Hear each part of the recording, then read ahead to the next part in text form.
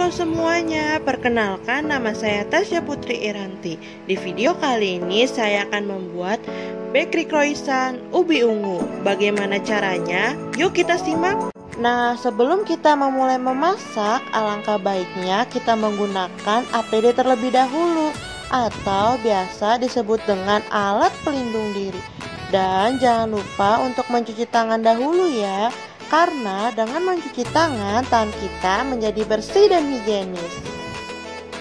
Inilah bahan-bahan yang harus kita persiapkan. Pertama-tama siapkan bahan adonan yang tidak diberikan pewarna. Kedua, siapkan bahan adonan untuk diberikan pewarna ubi ungu. Nah, sekarang kita masuk ke dalam proses pemasakan. Selamat menyaksikan. Pertama-tama yang harus kita lakukan yaitu potong ubi ungu menjadi kecil dan masukkan ke dalam blender dan dihaluskan. Kemudian setelah ubi ungu sudah dihaluskan, lalu ubi ungu disaring dan diambil sarinya. Selanjutnya, siapkan plastik.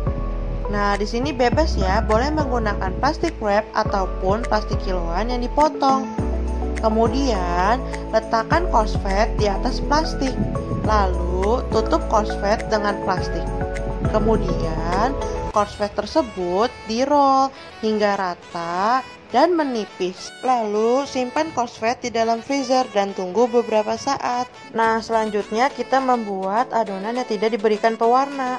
Pertama-tama masukkan tepung terigu protein tinggi. Di sini saya menggunakan tepung cakra dan sebanyak 250 gram.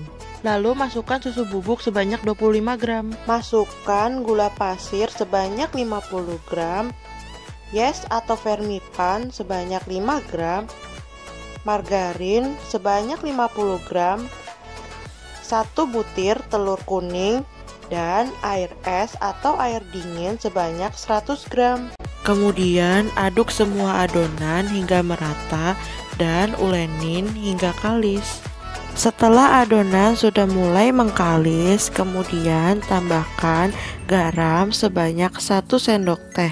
Lalu aduk semua adonan hingga tidak terdapat lagi butiran garam dan aduk hingga kalis. Selanjutnya, adonan yang sudah kalis lalu dibulatkan dan disimpan untuk beberapa saat dengan ditutupi kain lembab sambil menunggu adonan selama kurang lebih satu jam.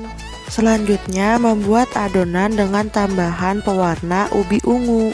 Pertama-tama masukkan tepung terigu sebanyak 125 gram, lalu masukkan gula sebanyak 25 gram, susu bubuk sebanyak 25 gram, vermipan atau ya sebanyak 2,5 gram, lalu masukkan telur kuning sebanyak 1 butir, dan margarin sebanyak 25 gram. Terakhir, masukkan sari ubi ungu sebanyak 50 gram secara perlahan-lahan. Masukkan sari ubi ungu secara perlahan-lahan dan aduk adonan hingga semuanya menjadi merata. Kemudian uleni semua adonan hingga menjadi kalis.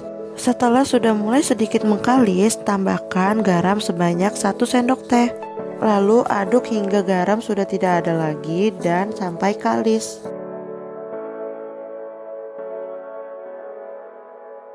Selanjutnya, adonan yang sudah kalis lalu dibulatkan dan disimpan untuk beberapa saat dengan ditutupi kain lembab. Inilah adonan yang tidak diberikan pewarna yang sudah mengembang selama kurang lebih satu jam. Lalu adonan yang sudah mengembang pindahkan ke dalam meja yang sudah dibersihkan.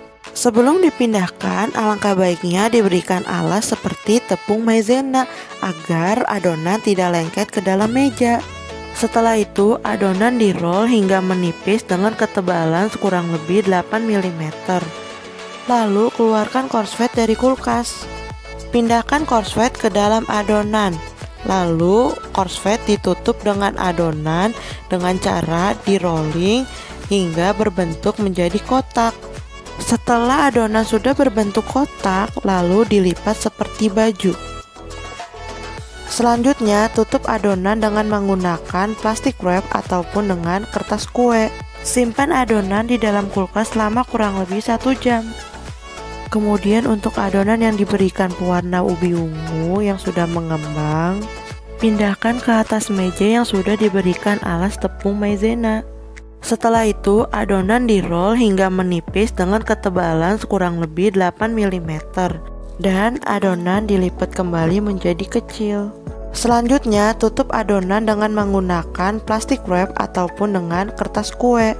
Lalu simpan adonan di dalam kulkas dan keluarkan adonan yang sebelumnya sudah diletakkan di dalam kulkas.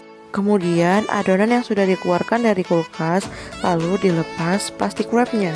Pindahkan kembali adonan ke dalam meja yang sudah beralaskan tepung maizena dan adonan kembali di roll menjadi tipis. Lalu adonan dilipat kembali. Selanjutnya adonan disimpan kembali dengan menggunakan plastik wrap dan diletakkan di dalam kulkas selama kurang lebih setengah jam. Pada proses ini akan dilakukan selama tiga kali.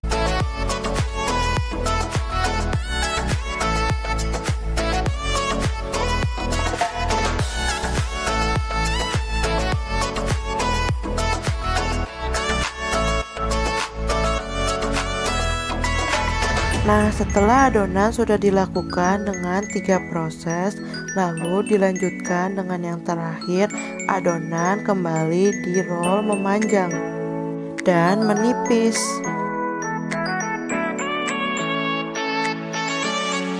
Selanjutnya, keluarkan adonan yang tadi diberikan warna ubi ungu Lalu adonan tersebut dipindahkan ke dalam meja yang sudah beralaskan tepung maizena. Adonan kembali di roll memanjang dan disesuaikan dengan adonan yang tidak diberikan pewarna. Adonan ubi ungu di roll kembali dengan disesuaikan lebar pada adonan yang pertama dan adonan ubi ungu dipindahkan di atas adonan yang pertama lalu dirol kembali agar adonan pertama dengan adonan ubi ungu menyatu.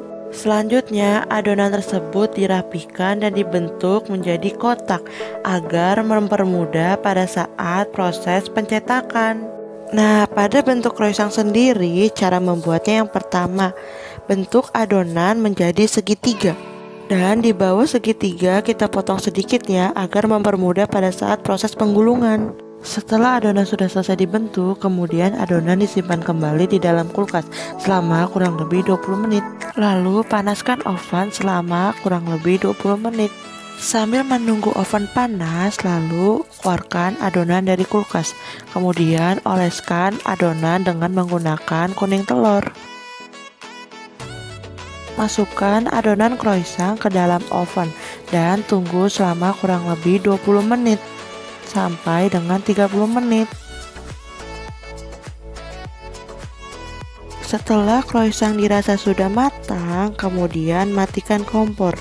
Lalu keluarkan croissant dari oven. Inilah hasil dari bakery croissant ubi ungu. hasil dari pembuatan bakery croissant ubi ungu. Yuk kita coba rasanya bagaimana ya.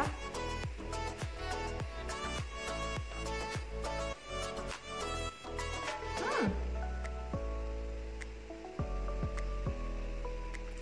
Rasanya gurih dan tidak terlalu begitu manis. Terus juga berlapis-lapis seperti croissant pada umumnya dan terdapat warna ungu dari ubi ungunya tetapi nggak begitu banyak karena sudah ketutupan dengan warna lain sayangnya. Tapi rasanya tetap enak kok. Hmm. mantap. Jadi kesimpulan untuk seluruh masakan hari ini ada sedikit kesalahan tetapi tidak merubah rasa yang ada di makanan tersebut. Tetap enak kok Nah, apa saja kesalahan yang diperbuat yaitu dari segi warna, seharusnya ubi ungu digunakan pada saat masih fresh. Tidak boleh disimpan terlebih dahulu di dalam kulkas karena dapat mengurangi intensitas warna dari ubi ungunya sendiri.